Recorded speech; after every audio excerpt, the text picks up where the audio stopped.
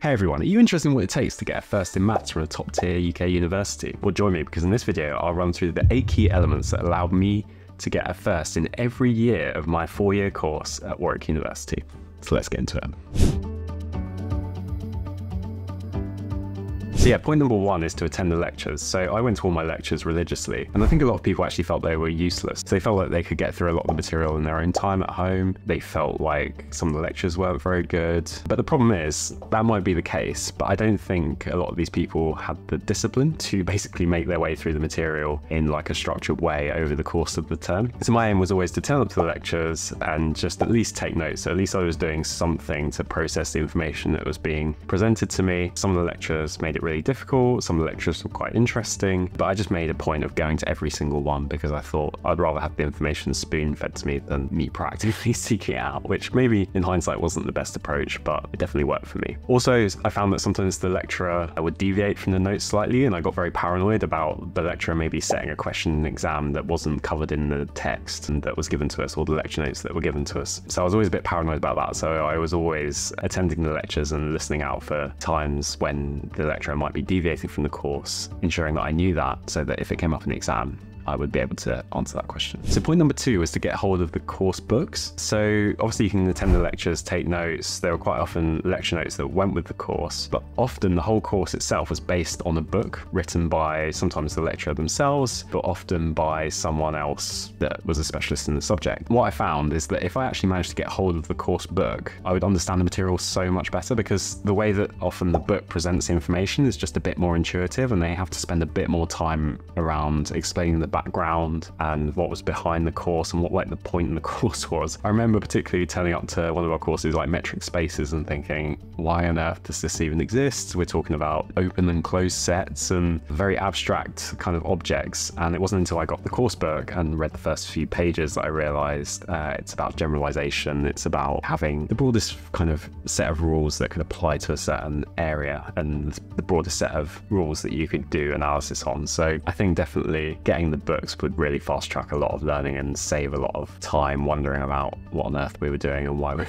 doing it. But these books were quite often expensive and quite often difficult to get hold of. Like the library would often kind of not have them in stock, so I would have to kind of beg, borrow, not steal, but get my hands on the books because I couldn't really afford them. So yeah, get hold of the course books. Element number three was trying really hard on the assignments, so they weren't really worth much in terms of credit, but they really forced me to engage with the material early. And I found them so difficult, to be honest, that I used to spend hours on them. Some people worked in big groups on these. I never did that. I wish I had done in, in hindsight. But yeah, I used to spend ages on the assignments. I'd try really hard. I used to go to tutorials and supervisions, and everyone else seemed to be getting like 100% on these assignments. So that kind of ignited the competitive spirit within me. And I definitely tried really hard on the assignments and actually did quite well overall on those. And I feel like that forced me to engage with the tool really early. It made me realize how hard it was, and it also made me search and try to understand anything that I really was kind of clueless about early on, which put me in good stead for the exams, I think. Element number four is that I took additional modules. So what you can do at Warwick, which I think is a great thing about the course, is just take additional modules outside your fixed modules. So I took additional maths and stats modules because that's what I was interested in. But people did like all sorts, like you could take English modules, you could take French modules. I just stuck to what I knew I was good at. And I also wanted to benefit from kind of synergies between them. So yeah, I definitely just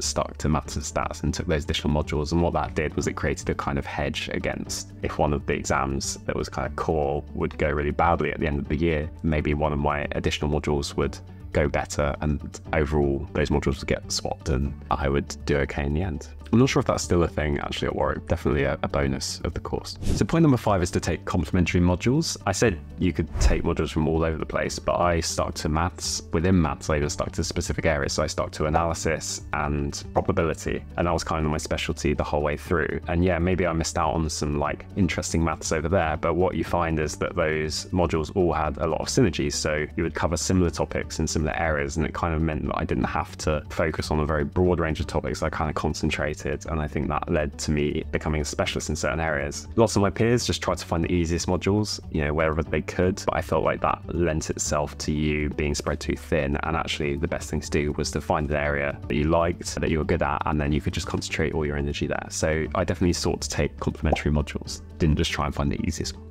Element number six was creating a study plan. I turned up at Warwick and just assumed that I was just going to get a 2-1 like everyone else, but then I found the course really hard, so I tried really hard and ended up getting a first in my first year, which was surprised to me, to be honest. But through that, I kind of centered in on a study plan that I took with me through the whole course. And actually, looking back, doing a bit of research on what is a good study plan now, I realized that I kind of by accident stumbled across the thing that everyone recommends, which is reviewing the material regularly and then practicing active recall. Yeah, my study plan basically, I worked out how many exams I had at the end of the year. So if I had six exams, I would try and cover the material once every six days in the lead up. And that forced the kind of periodization. So I was constantly reviewing the material ahead up to the exam. And so I wasn't forgetting it or I wasn't trying to cram it. I was just doing it on a very kind of regular basis. And that was really good because it forced me to spend an equal amount of time on each exam. You could have said, oh, Josh, you should have applied like 80 20 to this and focused on the core exams. I wanted to diversify because some sometimes an exam could go really badly. Maybe that's something to do with maths in particular, but even if you knew the course material really well, one of the lecturers might just put in a horrendous exam. You might end up bombing it no matter how well you prepared. So I took a much more diversified approach.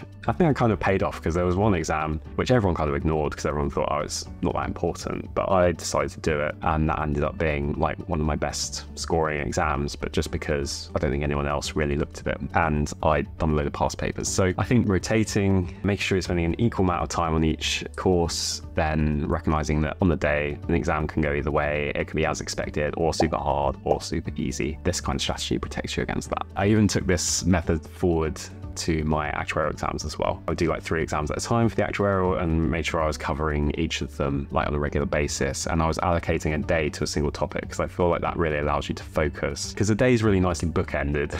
you know, you've got when you wake up, when you go to sleep, and then all the time in the middle. Whereas if you try and do many exams on one day, or you try to cover lots of different material on one day, you have to allocate time blocks to them, and they inevitably spill over into each other. You get distracted on one. You're perhaps more effective at revising in the morning than the evening, or vice versa versa. So just focusing on one course per day, I found just really kind of helped me eliminate all those kind of weird biases and niggles. Element number seven is practicing active recall. So I mentioned it earlier, that was one of the study techniques which I kind of employed uh, naturally, but I've since realized through researching what's the best way to revise that active recall is recommended. I definitely practice active recall. I essentially, yeah, memorized the whole course and I would do that by practicing over and over again active recall. I had like a whiteboard and some whiteboard pens and I used to just every day just go sit down on the whiteboard and write out the answers to the proofs. So basically created my own flashcards and I'd do that every time. And inevitably I just ended up memorizing all the kind of proofs and theorems and lemmas and definitions that were required in the course. And that gave me a really good foundation to kind of answer the questions that came up in the exam, which were slightly off course or like you couldn't really revise for them. You just had to know the material and you had to kind of apply it to a new situation.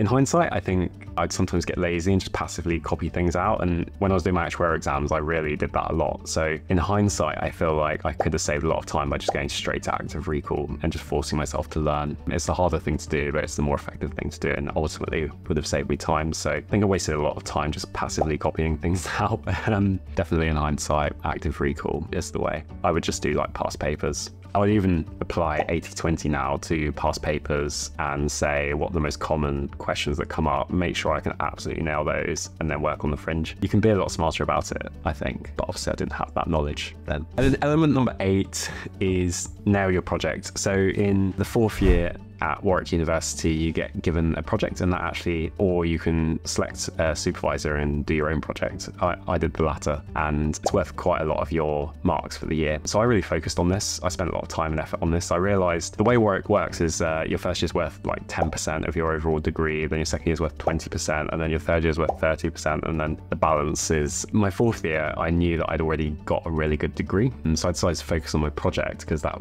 had the potential to ruin everything if I really bombed it. I spent a lot of time on my project. I actually really enjoyed it. I chose a supervisor I liked and an area that I was interested in. And yeah, definitely spent a disproportionate amount of time there, but it really paid off. I ended up getting 84%, I think, on my project, where a first would be 70%. So that really bumped up my grade at the end of the year, especially when the exams are getting really difficult by that point. So yeah, I recommend really focusing on your project. My wife as well, who uh, actually she got a first from Cambridge in natural sciences. She did the same sort of thing. We talk about it all the time, where it's how important the project is at the end of the year, and you can really differentiate yourself there. I think she ended up winning a prize for it. So yeah, that's it. They're my eight elements to getting a first at Warwick University in maths. Be really interested in your thoughts on this. Um, and if you want to check out anything else from me, check out this video.